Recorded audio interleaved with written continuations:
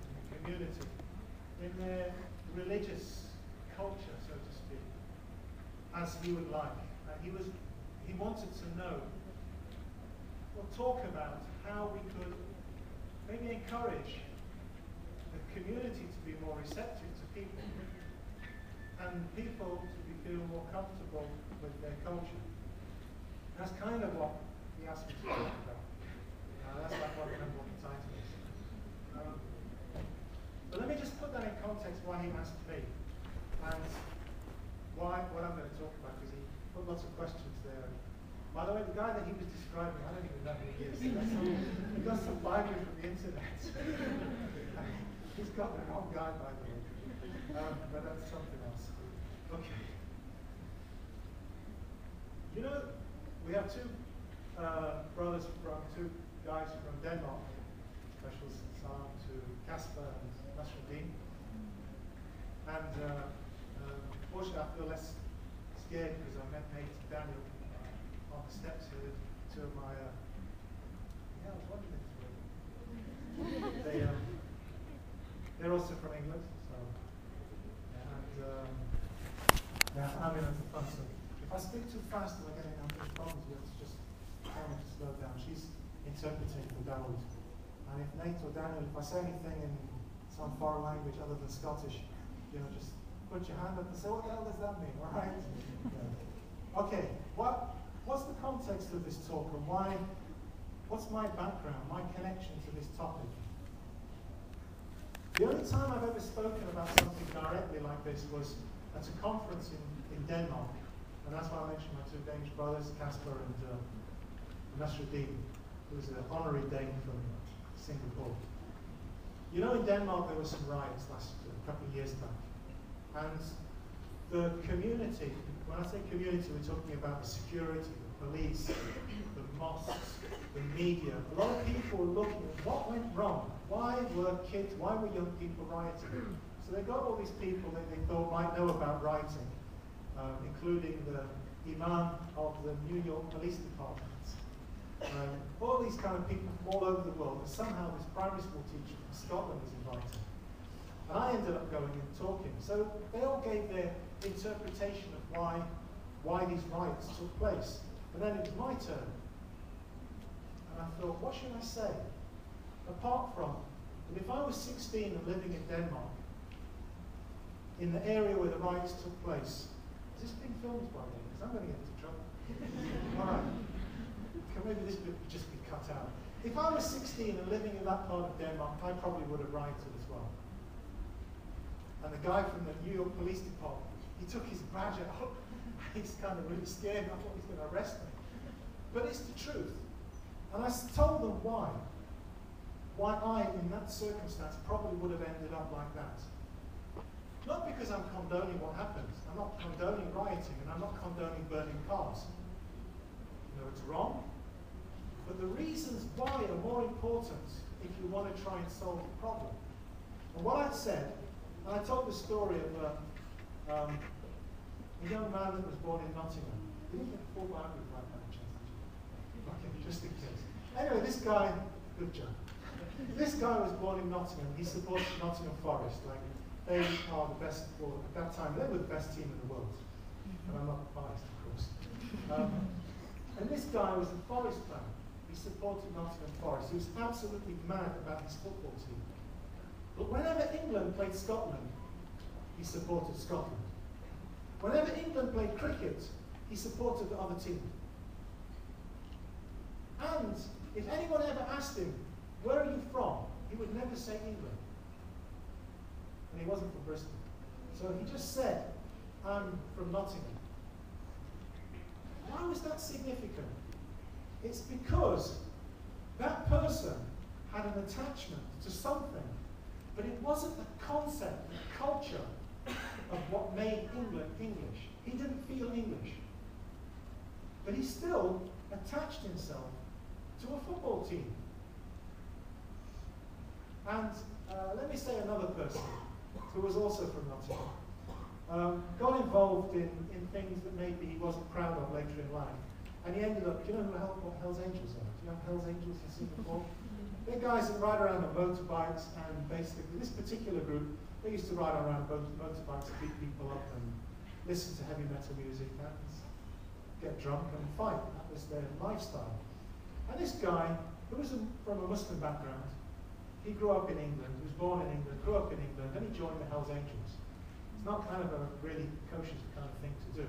But he became a Hells Angel. And anyone knows about Hells Angels, you can't become a Hells Angel without going through what we call the initiation. So after a few months of being a, like a probationary Hells Angel, you can join the pack by going through the initiation.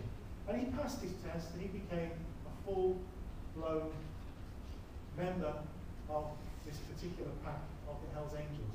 And the initiation ceremony is that he takes off his leather jacket, throws it on the floor, and everybody, if anyone's under 18, close your ears now, this is X-rated. And everyone around urinates on the jacket. And then he has to promise that he'll never wash the jacket. And this is like to prove that he's part of his pack.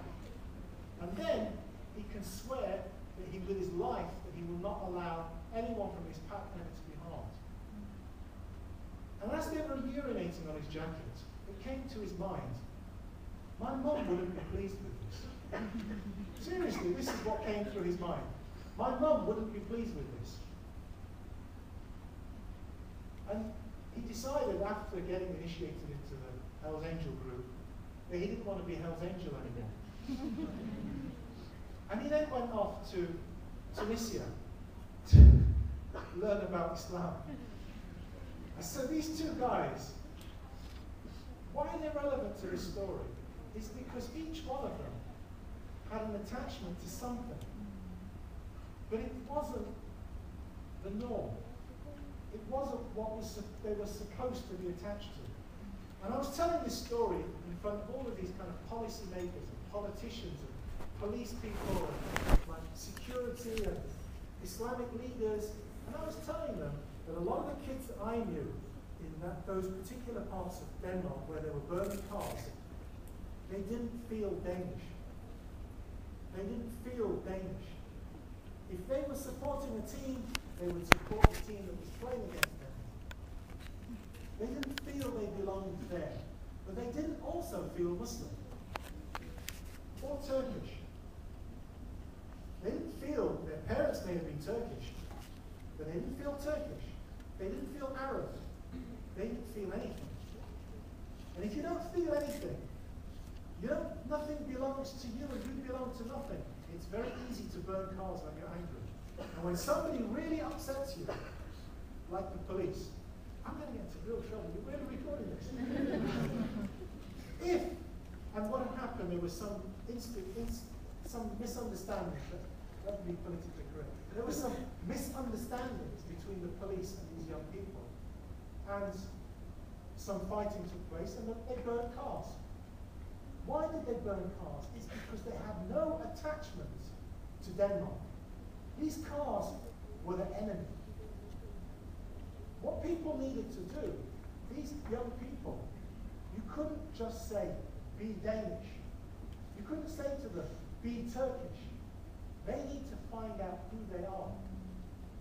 And until they find out who they are and feel where they belong, they will not respect property.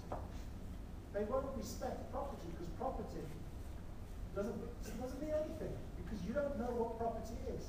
So that's the context of what I was talking about in Denmark. And I think Khalid was hoping I was going to talk about the problems of the youth in, in uh, Southeast Asia. Now, what's that? What relevance does my experience in Denmark and Nottingham? What's that got to do with here? Now, I'm here by accident. You know that. I wasn't planning to come to Singapore. I mm. was in KL, Kuala Lumpur, and these guys came into my hotel. Tattoos all down their arms, long hair. One of them, Australian guy, Peter, nice tie, but you know, smart, young, like rebel looking. And at the front there was this kind of youth worker type person, a few guys in their forties. So I'm hanging around in the lobby. I walked in, and I'd just given a talk in one of the mosques. And I came and I thought, what's going on here? And this guy comes up and hugs me. I think, okay, nice. and of course, he'd been in the talk, uh, he attended the talk that I'd given some day before. So he recognized me, and I didn't recognize him. And he said, I've got to meet some of my friends. You don't mind if they have tattoos, do you? And I said, why should I? If they're your friends, whoever you are, that's fine. So I went up and I started chatting with all these guys who were, and they, they were artists. They were artists and musicians. And you could just tell one or two of them were into hip hop. So we started talking about, uh, I just said, when you're into hip hop, said, yeah, you know hip hop. And I said, actually, no, I'm more into, and I didn't say, I'm a, recording, I don't want to lower my, he introduced me to Sheikh, so I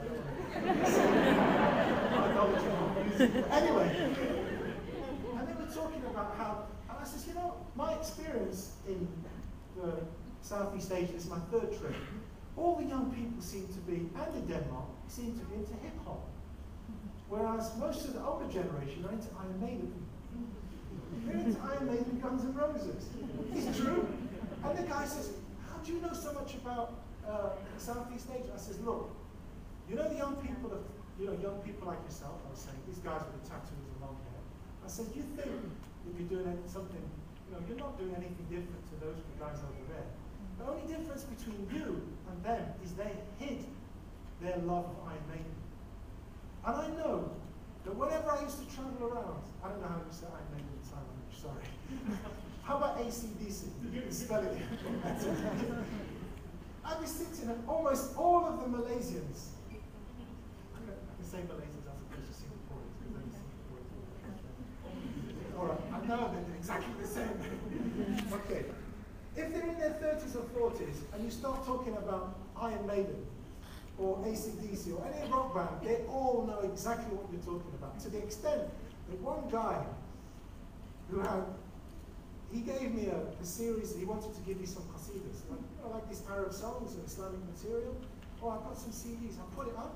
The first one, nice, Badru Alayna, beautiful Arabic song. Next one, Guns and Roses. Oops! and it's, it's typical. And it's not just teenagers that have an identity, so to speak, crisis.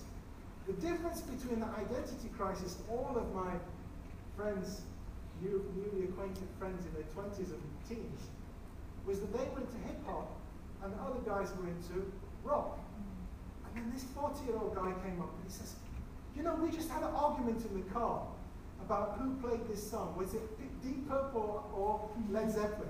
Would you mind, Sheikh, would you mind listening to this and telling me who it was? And it was King Crimson. So I told him, that's fine, mate, you're both wrong. It was King Crimson. They said, wow. And then we started, we spoke for like two hours. And these like really Islamic looking, like older gentlemen, not older gentlemen, like mature Malaysian um, elders, so to speak. And it just showed that People are people. And what's the time again? I've got to talk about time. Come as you are. That's I know that's some Come as you are. You know those guys, all of them, I had a really nice time in the lobby of my hotel. Those people were really honest, sincere, good people. And we talked about a lot of things, about music, about politics, about culture, about religion, and we were comfortable with each other. There was no pretense. And what the topic today is come as you are. Because unfortunately, the problem with the Muslim community, I'm going to get into real trouble. You're really making me. All right, I'm just going to go for it. The problem with the Muslim community is that they don't know what that means. They don't know how people should just come as they are. And people don't know what it means to come as you are. They think you can't come as you are, you have to pretend to be someone else. And what happens is that people are not honest with themselves, they're not honest with their religion. And as a result, people get isolated from the reality of their religion. And because they become isolated from their religion, they have identity crises. And they end up with tattoos all down their arm. And they don't know where. I'm not saying this, not I'm not a scholar. So I'm not giving you the fiqh. If you want the fiqh of tattoos, we'll talk about in questions and answers. But that's not what the point is here. Is that in Islam, there is a precedent of how people should behave as a community. And these people are part of our community. The guys that were burning cars are part of the community. The guys with tattoos down their arm would probably not be able to come into this mosque. They need to wear one of those blue things, okay? In the mosque. I just went to the mosque now. In fact, Nate was told to put his, his put one of those things on because his trousers are too short. Okay, so and I'm not saying it's wrong. I'm just saying that how was the real mosque, the first mosque? Because we like to, I'm going to get into so much trouble. we like to talk about being Ahl Sunnah, the people of the right path. And we talk about Ahl Sunnah as if to be a Sunni, to be someone that follows Muhammad sallallahu alayhi wa your beard needs to be a particular length. And your trousers need to be a particular length and to show how Sunni you are, how Muslim you are, you can do it by measuring the length of the beard and the length of the trousers. I don't know if it's like that in, in, in, in Singapore, but it is like that in some parts of Europe, and certainly in the Middle East. And I'm telling you, that's not how it was in the time of Muhammad. What's the second part of the talk? It was two parts. Kind of one was come as you are, and the other was about knocking on the door. All right, knocking on the door of God. The first poem that the young men sang was Ya Imam al-Rusli, O leader of the prophets, meaning Muhammad sallallahu wasallam. Anta babullah, you are the door of God. Wasn't it one of these guys? That's what you sang, wasn't it? Anta babullah, which is a nice introduction because that's what the title is about. How did the Prophet sallallahu alaihi wasallam, the Prophet Muhammad, accept people in the mosque? That's the question. How do you knock on the door? If he's the door, how did he behave? What was he like? One of the saddest things that I heard since I've been in Singapore was about a mosque which I won't mention, but they have blue jackets the front. Uh, in case people have to, their short, their arms are too short, their shirt sleeves are too short. And a, a, a, Brazilian lady came to visit this very beautiful mosque with a golden dome. and, you walk down the street and you smell couscous on one side and Turkish kebabs on the other, and there's like a Arabic Islamic bookshop and there's smell of shisha and you see this golden dome and you're kind of attracted to the door of God. So you want to knock on the door of God. And so she comes in. She's a Brazilian lady. And she comes, and they say, You can't come in. There's only three minutes till the prayer. You have to go. So she says, Please. Okay, two minutes. and put this on. So she puts on the blue gown. She walks for two minutes near the house. she takes it off and she says, I don't have that religion. She said, I'm glad I don't have that religion. What's this about knocking on God's door? It's more like pushing people away from God's door. That should be the title. As you are. Get lost. don't knock on God's door because you won't find him here. That's what I would have used the title. Because that's what was happening. How was Muhammad sallallahu is that mosque behaving in the way of the Prophet? And I'd say, I say no. And I have my reasons. The first one, what would happen if I went into this mosque and I peed, urinated all over the mosque? What would the Imam say? I mean, he just they just threw the Brazilian girl out. She just came in there knocking on God's door. She came in because she smelled the shisha and the couscous and the Turkish kebab, and she saw the golden dome, and she heard the adhan. She came with a good intention. And in the time of the Prophet wasallam, the time of Muhammad a man walked into the mosque and he urinated in front of the Prophet. And somebody got up to stop him. And Muhammad wa says, Down, leave him, let it finish. Let it finish. Why? Because if you stop somebody midstream, you could cause health problems. and Muhammad sallallahu alayhi wa sallam came, we hear in these Mawlid gatherings, what was he sent as? Rahmatan lil alameen, a mercy to all of the worlds. So if somebody happens to be urinating in the mosque, it wouldn't be very merciful to stop mid-flow. So he didn't. He said, and then he sat down, I assume a little bit away from the puddle. and he sat with the Prophet sallallahu alaihi wasallam for one hour, according to, uh, in Arabic they say sa', which could not mean, doesn't mean 60 minutes. He sat for a while. And then he got up and he said, Okay, in this religion of yours, do I have to pray? And Prophet says, Hamsa Marati for Yom. That's five times a day. He said, Good. Any more?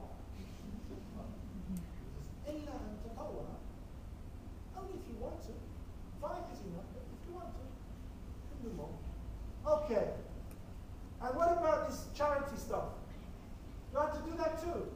He says, yes, a little bit every year. Two and a half percent if you have a lot of money, two and a half percent. If you don't have any money, you don't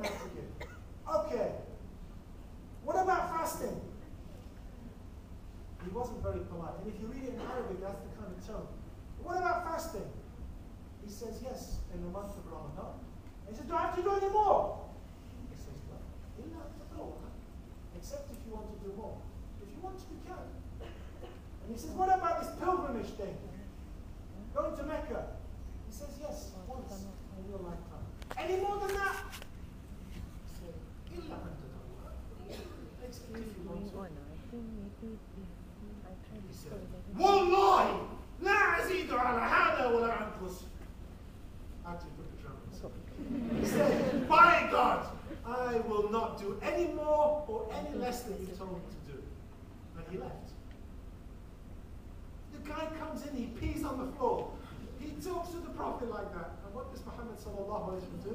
He turns to some of the companions and he says, قَدْ أَفْلَحَ إِنْ صَدَقَ That man's going to heaven. If he's telling the truth, that man's going to heaven. And then he told Umar ibn al-Khattab, clean up the mess, and what did Umar ibn al-Khattab do? That day, he cleaned the toes. When you're talking about knocking on the door, you will not chase anybody away. Muhammad sallallahu have you ever seen anybody more rude than that coming into any mosque, anywhere? How did Muhammad sallallahu behave? That's the first thing. Okay, let me talk about maybe that's a bit extreme. Yeah? And, and, and you know, maybe we can't be that. What about a case where Muhammad sallallahu is sitting alone in the mosque? He's on his own in the mosque, praying and doing the worship and things. Alone, nobody's in the mosque. And a man walks in and he sits down on his own a little bit over there. What would the Prophet do? Any suggestions what he might do? You've got a suggestion, what do you think? Anybody?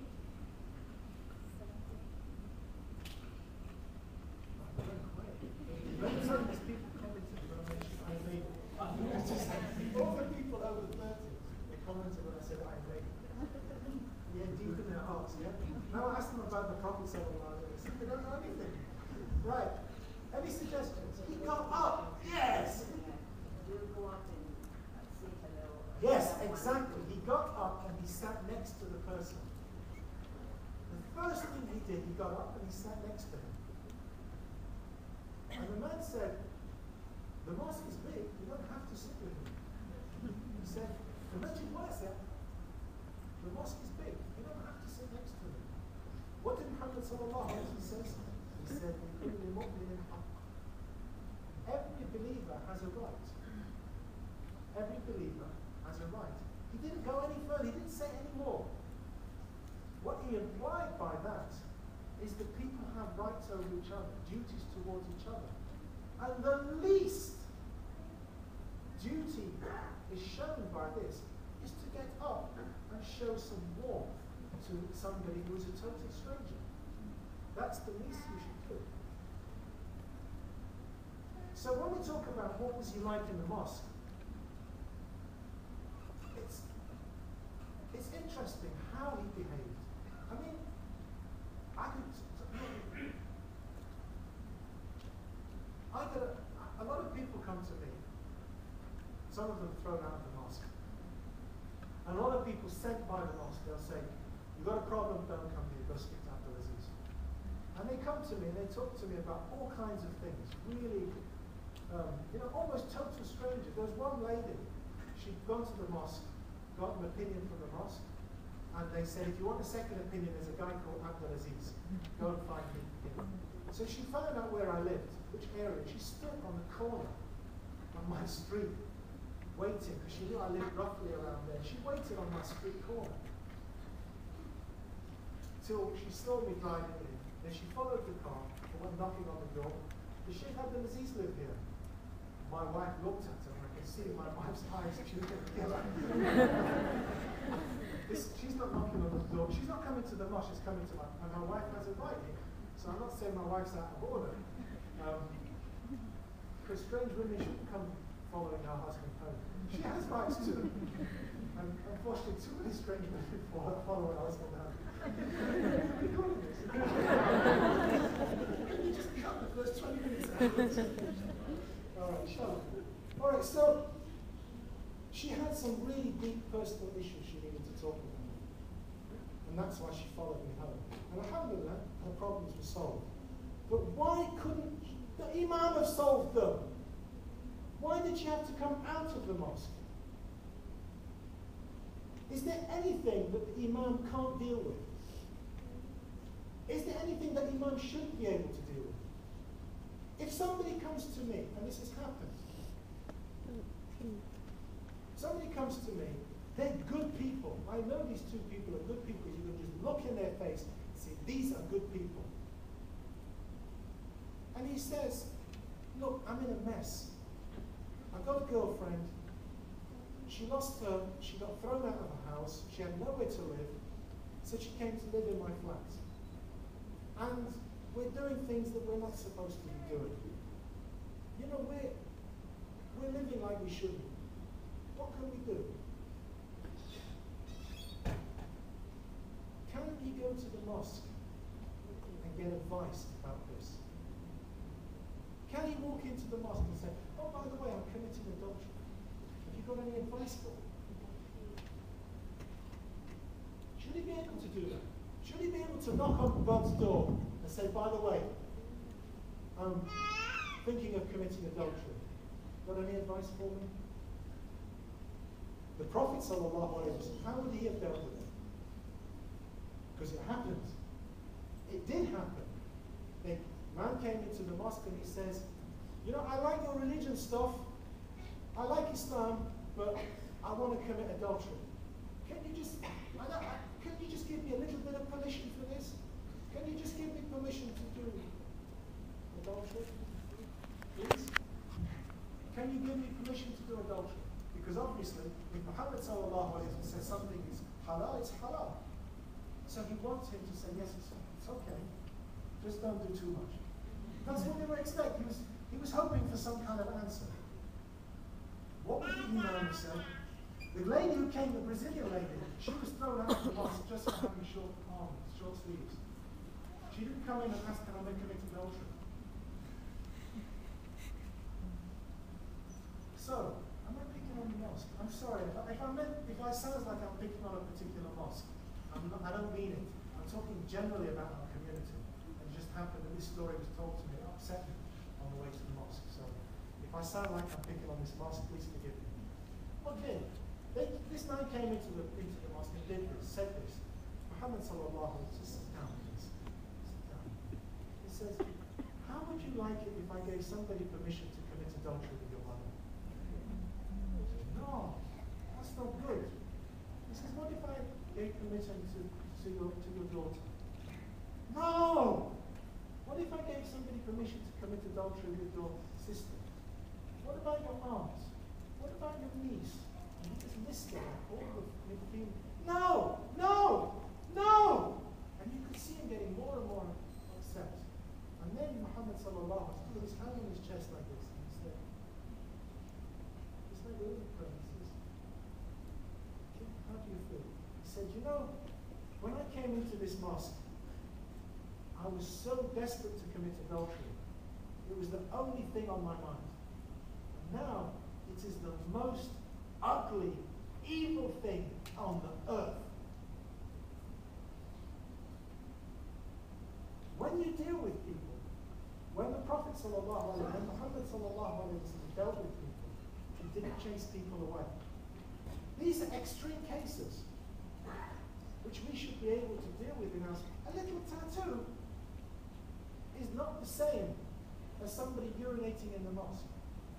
A little hair showing is not the same as somebody urinating in the mosque. So when the time come as you are, I'm not saying you should come and urinate in the mosque. But you should, anyway, we'll come to what I, what I think in a minute. But Muhammad sallallahu alayhi wa was somebody who smiled. Somebody asked me, in the introduction, they said, um, the brother said, Abdulaziz studied under Sheikh Abdulaziz Frederick is from Scotland, has travelled to various parts of the world seeking knowledge. His teachers include Al-Habib, Ahmed, Mashhur, bin Taha, bin Ali, Al-Haddad. He's like one of the biggest, biggest scholars of his time. And it's true. I studied under him. And somebody came and says, What did you learn from Al Habib Ahmed? Tell me about Al Habib Ahmed. I thought, the first thing that came to my mind is he had a really nice smile. Somebody asked me, Tell me about Habib Ahmed. The first thing that came to my mind was he had a nice smile. And he says, What did you learn? I'm trying to think, well, what did I learn? you know, I wasn't a good student. you, know, you know those naughty boys at the back of the class? Uh, Habib Ahmed loved the naughty boy at the back of the class more than the other kids. Okay. And he's some guy from Nottingham. right? And he used to support Nottingham Forest, but it's another story. And he was, and Habib Ahmed, he loved him. He wasn't a good student. And when the student was asked, so what did you learn? He said, I learned it's important to smile. And to be honest, the most important thing that I learned from my teacher, Habib Ahmed, bin that, was that if you don't smile, in fact, I just don't know what happened. I just only know him, he smiled all the time. Whatever happened, he was smiling. And whoever came into his house, he was smiling. And that's how I thought the Prophet ﷺ was. When he saw people, he didn't think, why are you urinating in my mosque? He just smiled. And I could imagine, and I know something similar happened to Habib Ahmed Mashur, that person who was a teacher. And I know he just smiled. And for me, that's the most important thing. It's important to smile and to be show your warmth from your heart. I'm not just saying put in your heart. You need to love people. And if you love people, it will come out. And if you love people, you'll be able to welcome them into your heart, into your mosque, into your home. And you won't look, he's got a tattoo, you know that. Or, you know this, that lady's got a hair show. You know, they, they, they won't, if you have warmth, your heart will open up and you will deal with people according to their situation. Now, when I go to a lot of mosques, I'm really scared. I look at the imams and they scare me. Maybe I'm just scared easily. but, I don't know, maybe Singaporean imams are different. Maybe I'm not having Hassan or he smiles all the time. That's why I like that mosque, is because the imam smiles all the time. I like that mosque. Why? Not because it's the best mosque. I know it's the best, but he smiles. I like him. And I like that mosque. But a lot of us, they don't smile. Growl. and they've got this look of anger. And you think, have they ever, ever heard a joke? never mind told a joke. Have they ever heard a joke? Ever. And then I thought about it. What about the Prophet Did he ever tell jokes? That's an interesting thought that came to my mind. And I thought, let me introduce me to Sheikh, I'm going to pretend, right? Because I just out of respect, at least I don't want him to look as if he's alive. okay, so I'm going to get a book that's in Arabic.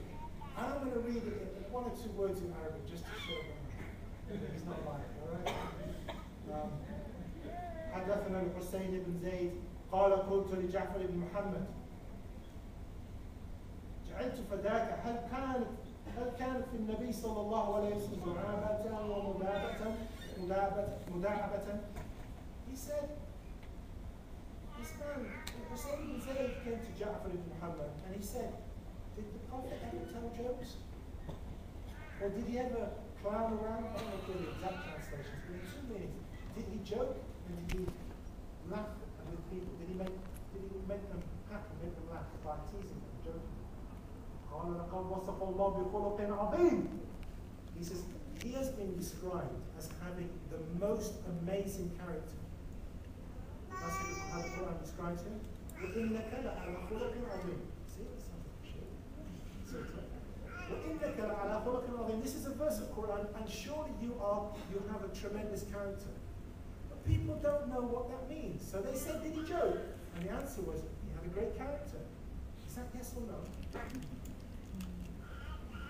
They don't know.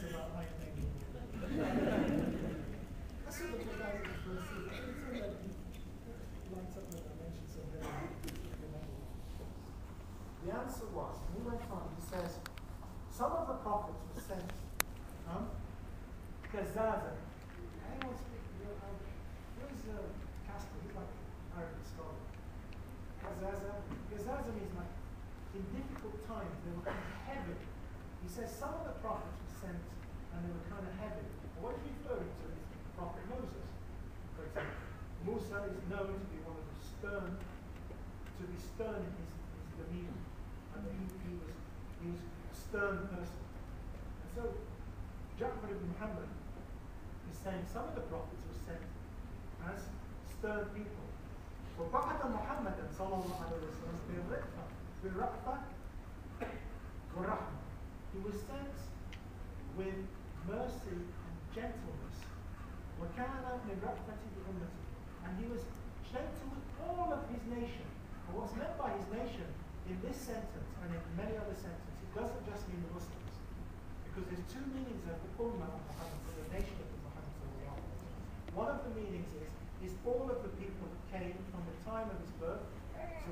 time of his prophecy till the end of time, whether they believe in him or not. And then there's a special meaning of it, is those that believe in him. So here he says he came to all of his nation, whether they're Brazilian or not, as a mercy and gentle to them. And he said, and he did used to joke with them, and he said, but he never, he never um, he never said anything wrong. And he said, and then he said, then Muhammad sallallahu alayhi wa says about joking, he says, إِنَّ اللَّهَ يَبْغَى الْمُعَبَّسِ فِي وُجُوهِ إِخْوَانِهِ He says, Allah, God, is angry with the person who has a, a stern look on their face when they meet their brothers. And I think about it. This guy with the beard, he thinks it's sunnah to growl at this makes it more Islamic. Has got it completely wrong. The Prophet sallallahu alaihi wasallam, the exact opposite. Now you're thinking, that doesn't say anything about jokes. And it doesn't. Now I'm going to put that away because now I've done the shit. right? He did tell jokes. And I'll tell you one of the jokes that he told. And the reason why it's, it's relevant is because every time some strange woman walks home, follows me home, or comes out of the mosque, or comes into the mosque and tells me all of these things that she's not supposed to tell anybody, but somehow they find me.